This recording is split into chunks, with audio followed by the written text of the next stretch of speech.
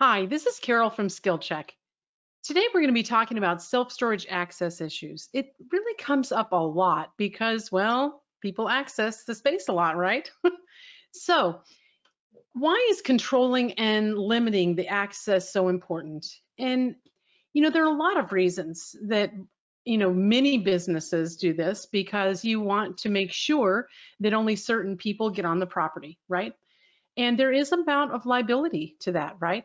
Because you want to make sure we have we know who's on the site and uh, that the right people are there for the good reasons right? So let's start just start talking about the amount of liability we have also. So you want to have that authorized customer access list or when you're accepting keys to the spaces um, things like that. Know that. In it's this is true even if you have a well drafted rental agreement. Even if your rental agreement says uh, and, and exculpates you from everything, you still want to have good policies and procedures around accessing and making sure who has the act, right access and keys to the space and that sort of thing. And employees can have sort of unknowingly uh, made big legal mistakes by handing out keys or cutting off a lock for someone they shouldn't have. So it's really important topic the employees become sort of that gatekeeper or judge if they sit there and they think, oh, well, I have all the control here. I'm going to make this decision. And I think if you're not sure what to do, you should, or, or it seems very confusing sometimes. I've had, like in the past, I've had, you know, a person pass away and then there were like five people that came by and said, "Oh yes, I have the authority to get in, and I, I'm on the will, and I'm the executor, and I'm this, and I'm that." I'm like, for all the same person, the same customer that we had was like, oh, see, this is why we didn't let anybody have access. And you also increase your responsibility and liability with your tenant if you give out control to someone else or give access to them, cut off a lock for them or anything. So who should be allowed access? Well, your rental agreement is the most important directive that you have about access issues. It really needs to specify the days and hours that a customer can access the space, during their tenancy because it's important to know that if they can't have 24 hour access because some people think oh well i can have 24 hour access. Well we don't like them to have 24 not at all stores but some stores don't allow 24 hour access so it's very common to to limit the hours that they can actually be there. And yeah, and not be doing bad things there. so, and also when and why a customer is overlocked. We want to know that if, you know, for example, if they've they've locked the the space and uh, the the lock is not very good, we might put another lock over it because I've had I've seen things like luggage locks on there. I've seen a shoestring one young guy put a shoestring. He said the only thing I could figure out to put on it was my shoestring. So I took it out of my shoe and put it on there and and tied a knot in it. I'm like, no, no, that does not work as um, a, a, good way to to uh, secure your space because your shoestring's not very secure.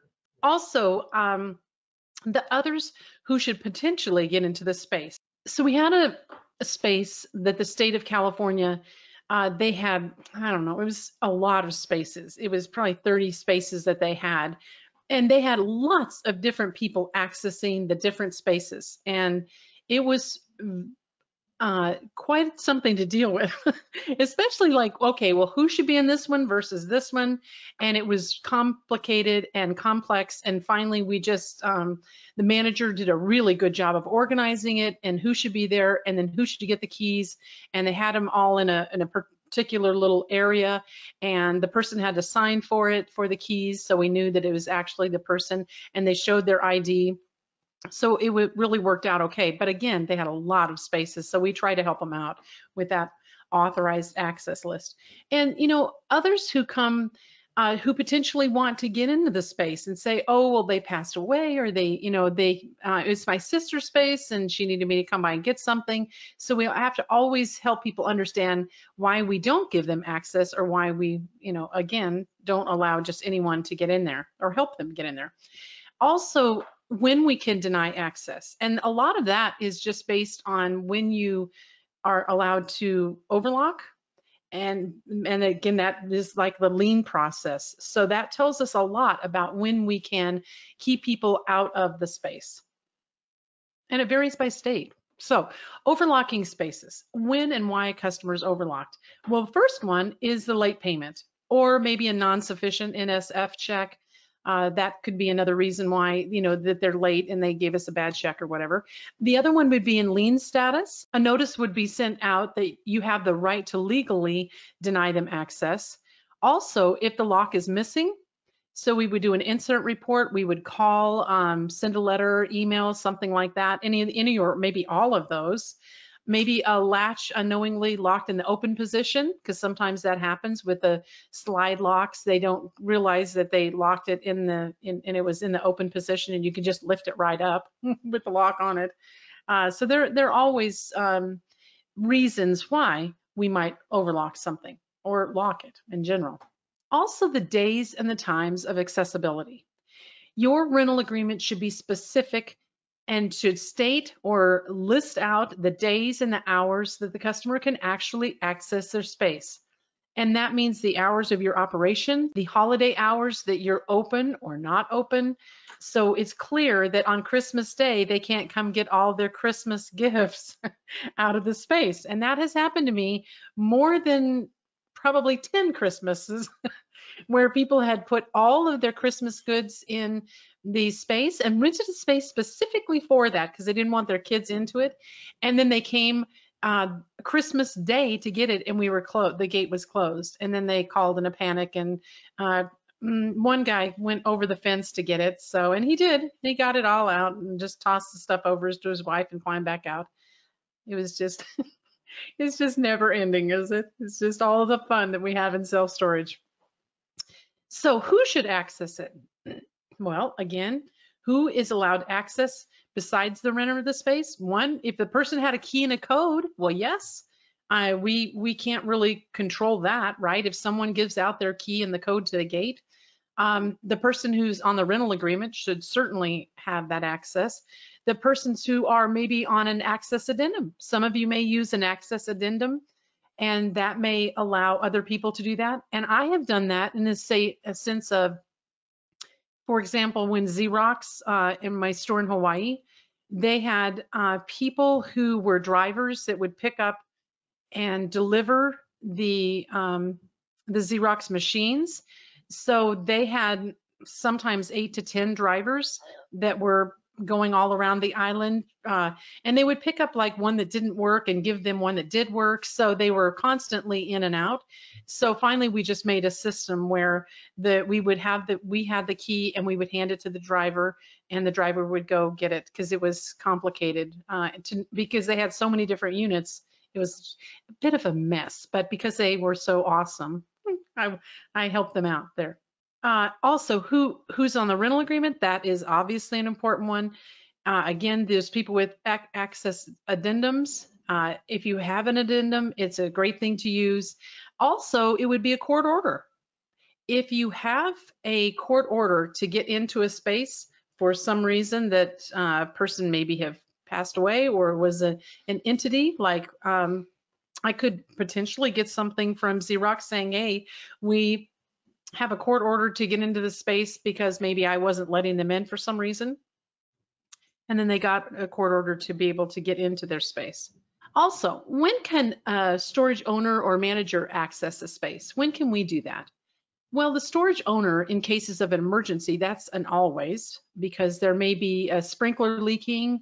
It could be potential fire, or we could smell fire. That's happened before um, and just the safety of the property of the customer's goods because if we think that if we know that there's a leak we should try to mitigate it as soon as we can uh, as soon as possible. Suspicion of a break-in or something dangerous being stored. Yeah it really is important if you suspect something weird or you smell something uh, it could be uh, i've had goats in a storage space and the bat or whatever it was was you know obvious. And there was some uh, straw outside of the unit that one of my managers had in New Mexico. And I was like open it up. I mean I'm assuming or, or start getting the customer on the phone and tell them you can't store live animals in space storage space. What is wrong with these people right? Suspicion of a break-in or something you know dangerous is really super important because especially when we know that the in fact the first bombing of the World Trade Center they made the bomb in a self-storage unit in New Jersey. And just the fact that they were moving in and out acetylene tanks and all kinds of uh, chemicals I watch my I have my managers watch very closely what's being stored if they can and especially watching for those trucks with the uh, lifts on them, if it's something really heavy, or if you see 55 gallon drums coming in, that sort of thing, you want to be really careful about. The other time that we access a space is for a lien sale, and that's obvious, but you want to make sure that you've sent out the proper notices prior to cutting off the lock. It's really important that you don't cut off locks until you've sent the proper notices. Others who may uh, need to or be allowed access or maybe have some kind of access one way or another, who could potentially get into the space then? That's that non-tenant who could get in the space if they have the key in the code, right? Sometimes we don't even know that a non-tenant is getting in. Someone said, oh, well, you know, just go ahead and here's my key and here's the code and this unit number 101 and it's right on the left or whatever. And, and they let someone in that maybe we don't want in, but they do it anyway. A person with a perfected security interest could also be able to access that. I've had several of those over the years. One of my favorite ones to tell about is I opened a storage space in lien status and it had um, the machines that you would put on a car to diagnose uh, what's wrong with it. And uh, and so the Chevron company, I I sent them the lien notices as soon as I found it. I thought, okay, well I'm gonna see if I can get. And I looked up, and Chevron actually had um, a perfected security interest on the goods there and it had an address to send the lien notices to, so I sent them there. They sent me a check for the entire amount. They sent a truck out, they sent a moving truck, they put all of their goods in it now the things that were on the perfected security interest and they, they had the actual numbers on it so i was there when it happened and the other things that were left in the unit i had to start all over to get rid of that stuff because i had gotten all the money on it so it had to go back um, into lien status again before I could sell the other goods. But it was tires and a bunch of other stupid stuff left in there. But I did get the money that they owed, which was like $2,100. So it was awesome at least I got that much out of it by using that perfected security interest and getting a hold of Chevron. Also, a person with a court order could have access to it, and I have had that in a situation where um, a kid stole another person's motorcycle, and he rented a unit there, put the motorcycle in, and the his friend, not such a good friend, who his bike was stolen, actually got a court order to get his uh, he knew that the the um, oh my gosh. He knew the motorcycle was in the unit and the particular unit number but anyway we did help him to be able to get that back and the kid had just said he owed him money and they he took his bike and uh, he had paid him the money and he never gave the bike back. So he he found a way to get it himself which worked. And that's all we needed was that court order to open it up. And then we gave the, we could give it to the non-tenant because he showed proof that it was his uh, unit. And he did bring the police down with him. Uh, also an officer of the law that's in hot pursuit. Um, I have had that. also at storage properties where they have come up to the gate and they said, we just had a guy that stole some money from a bank and he's he's going into the to he came in here and he went through here so we need to get in. So we opened up the gate let him in and they were because they were in hot pursuit of that person. So and they we also ended up uh you know telling what unit he was in and that sort of thing. So he was hidden in his unit. That wasn't too hard to find. Because we knew his name and the customer i mean the police knew his name so we we got him. A parole officer also has the right to do that. Parolees are still considered to be under the supervision of uh, of their of the prison system, so their stored goods can be searched. And I've done that several times also where they've come into the office and I said, as long as they can show their parole officer information, uh, and we and I like to take pictures of things or copies of it so we can sit, write an incident report saying the parole officer wanted access to this unit and then it all worked out really great. Uh, also, the manager or owner of the storage property can do can get into any space for because the rental agreement gives us or allows that us that uh, prerogative in case we think there's some kind of problem. And again, the fire department would also have the ability to get into a space if they think there's something that might be in there that was dangerous or flammable or problematic. You know, it's always a good idea to write up an incident report with all of these things that I've just talked about. It's so important to, that you complete an incident report. If you don't have one, contact our office. We can send you one. But it's really an issue involving any access to the customer storage goods. Makes make an incident report, put it in a file, upload it to the computer, however you want to do it. But just make sure you save it and you note what's happened, who was there. Try to be really thorough in all of your information about times and dates and people. And and I like to, you know, especially if officers are going in there, or the parole officer, we say, hey, can we have your ID or, or we need to write down some information for our incident report that we're un, we're lock, unlocking this to allow you in there. So we need some information. It's just a good thing to do, right?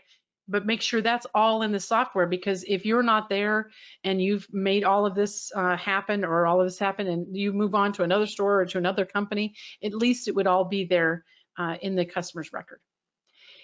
Another reason might be to restrict access is because of bad behavior at the site. And you know what? I, look at this guy. Multiple shoes. He's got his uh, iron out there. He's got looks looks like some bleach. The hard part about this is this this guy is actually pretty clean and not in too bad. Okay, I'm, you you know what I'm saying here. I I feel for him but other customers who want to get up and down this aisle, they they can't with this. And I would just go up to him and he'd say, "Hey, guy, could you possibly kind of not, you know, put all of your stuff out like this? And because it's too much like you're just hanging out here, and but you have to be, watch about, you know, staying past closing time and just loitering around the property in general. And it's just not good for business, and it's scary to some people, not everyone, but it's sometimes scary to people."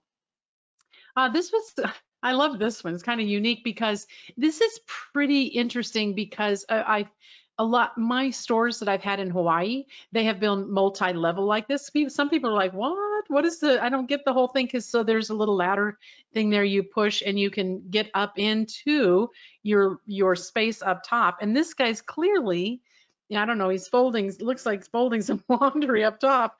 But okay, not only is that guy a problem, but the one down at the bottom, look at him. He's got all his junk in the hallway where nobody else can access it. So you've got to watch about living in this space, you know, the issue of people being able to get around and being able to walk down the aisles.